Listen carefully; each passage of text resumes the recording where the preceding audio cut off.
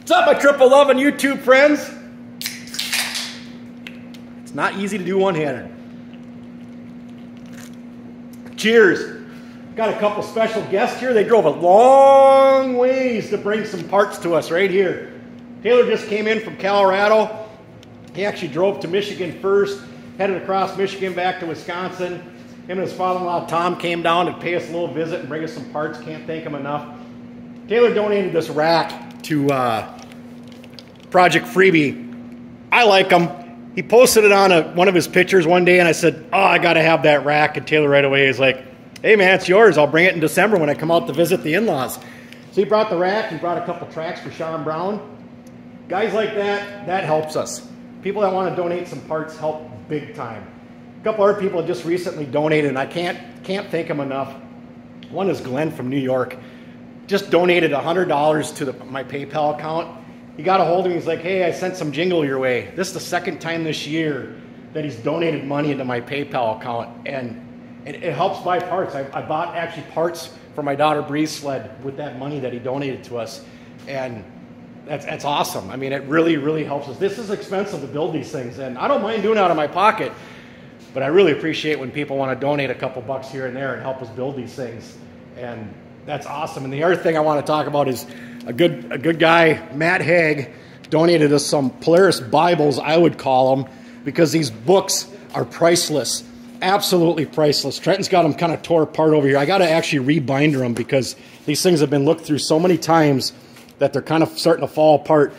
But having books like this in the shop, invaluable. Absolutely invaluable. The information there is unbelievable. The amount of tool information, things that you need to know as far as them books. The one book there has all the information all on RXLs to, to diagnose them and stuff. And me and Trenton, we have three of them between the two of us.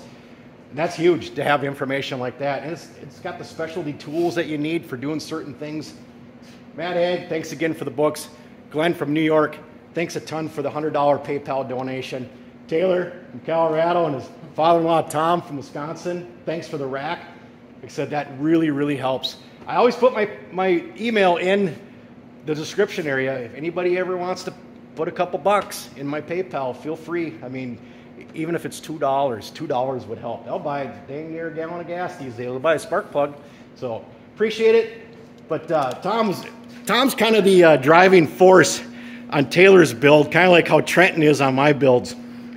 Tom was talking about his cleaning techniques here, and he talked about this chemical that he uses. And it's not a super strong chemical. I mean, you can wash your hands with it, but Tom does all the cleaning and uh, makes Taylor's builds look just beautiful. And what is the name of that cleaner you were telling me about again, Tom? It's awesome. You buy it at a Dollar Bill store.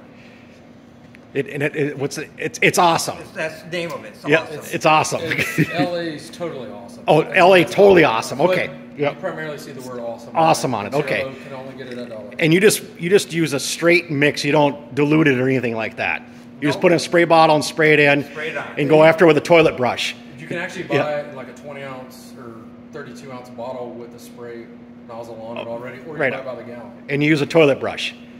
Because you said you used some kind of a round shaped brush on it. a parts cleaner brush. Sure, okay. Yeah. yeah. Yep, right on. But yeah, Trenton kind of does the same thing for us, but we've been using a lot of simple green, but I'm to give what Tom's talking about, this LA Awesome, LA Totally Awesome. I'm to give it a try. Um, I'm always looking for another cleaner to give a try, so. But we use simple green, it works good, but I'm open for anything. But here we go, we got the sleds looking awesome, beautiful. I got a couple more decals coming. Uh, I got one coming for the back.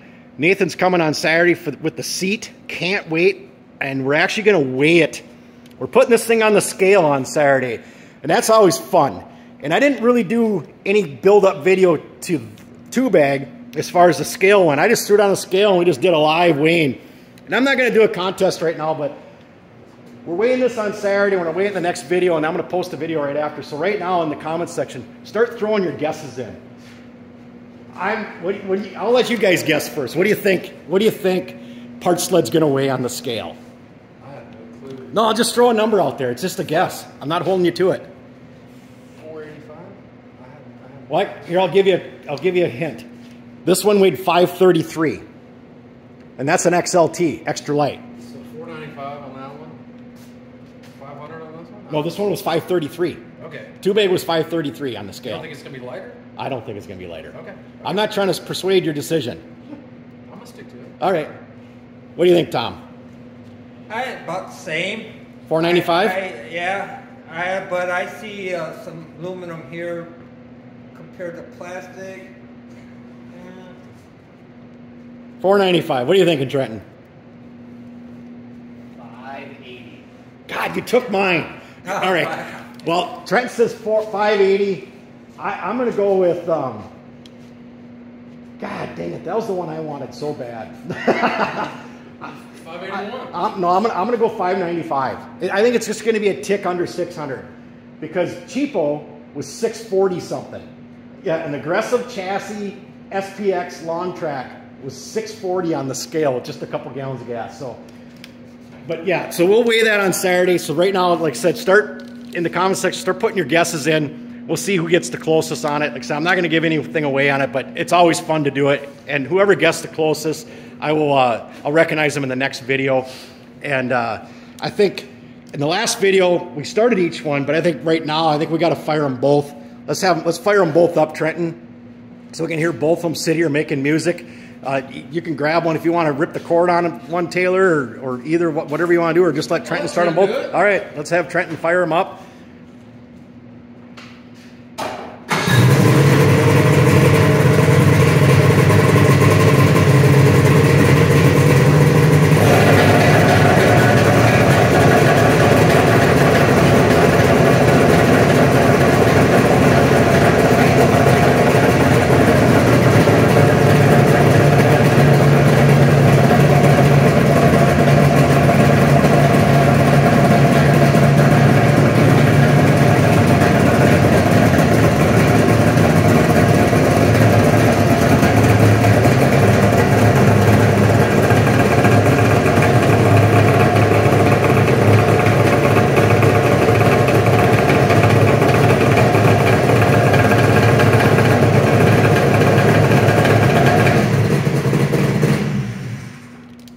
I'd say there's left definitely a little bit more thump on that 680 than there is out of the 600. It's noticeable. definitely noticeable bigger thump out of that one, but they both run great. I can't wait to get them out and do some testing and tuning. But unfortunately, right now in Minnesota, we have Zippo for snow. I, you can't even drive to it right now in Minnesota, and the lakes aren't even froze over either. Uh, we got rain, rain all day. Just the other day, it's going to be 50 on Sunday here for Christmas Eve. Colorado, what do you guys got out there? Nothing on the forecast. Yeah, We went and- riding uh, two weekends ago. We'd, we'd get to the edge of where the groomer was. We'd fall off, get stuck. They quit grooming the day after we left, and Great. that was two weeks ago. And there's nothing on the forecast. And what'd you have? A, a, a foot of snow or something They up high? got a foot or two up there. We Yep. probably got about eight inches at the house. That's down down low, sure. All right, guys. Well, thanks for watching. And uh, this weekend, like I said, we'll have Nathan here the new with the seat for it. We'll put it on the scale and weigh it. And uh, let's everybody pray for the snow gods to treat us well. Some snow here coming up, so we can actually ride them and do some testing and tuning on them. Thanks, everyone. Dang it! How'd you do that?